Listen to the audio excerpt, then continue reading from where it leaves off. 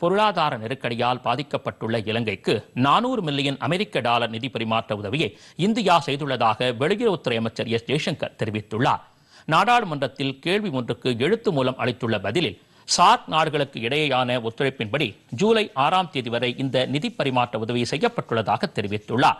இதேபோல் கச்சா எண்ணெயை இந்தியாவிலிருந்து இறக்குமதி செய்வதற்கு ஏதுவாக ஐநூறு மில்லியன் அமெரிக்க டாலர் நிதியுதவியையும் உணவு மருந்து மற்றும் அத்தியாவசிய பொருட்களை கொள்முதல் செய்வதற்காக ஒரு பில்லியன் டாலர் நிதியுதவியும் இந்தியா வழங்கியுள்ளதாக அமைச்சர் கூறியுள்ளார். இது தவிர ஆறு கோடி ரூபாய் மதிப்பிலான இலவச அத்தியாவசிய மருந்து பொருட்களும் இலங்கைக்கு அனுப்பப்பட்டுள்ளதாகவும் பதினைந்தாயிரம் லிட்டர் மண்ணெண்ணெய் ஐம்பத்து ஐந்து மில்லியன் டாலர் மதிப்பிலான உர நிதியுதவி ஆகியவற்றையும் இந்தியா வழங்கியுள்ளதாக அமைச்சர் தெரிவித்துள்ளார். இதேபோல் ரயில்வே உட்கடப்பு மேம்பாடு பாதுகாப்பு புதுப்பிக்கத்தக்க எரிசக்தி பெட்ரோலியம் மற்றும் உரத்துறைகளில் கடந்த பத்தாண்டுகளில் மட்டும் ஆயிரத்து எண்ணூற்று ஐம்பது மில்லியன் அமெரிக்க டாலர் நிதியுதவியை இந்தியா இலங்கைக்கு வழங்கியுள்ளதாக ஜெய்சங்கர் தெரிவித்துள்ளார்.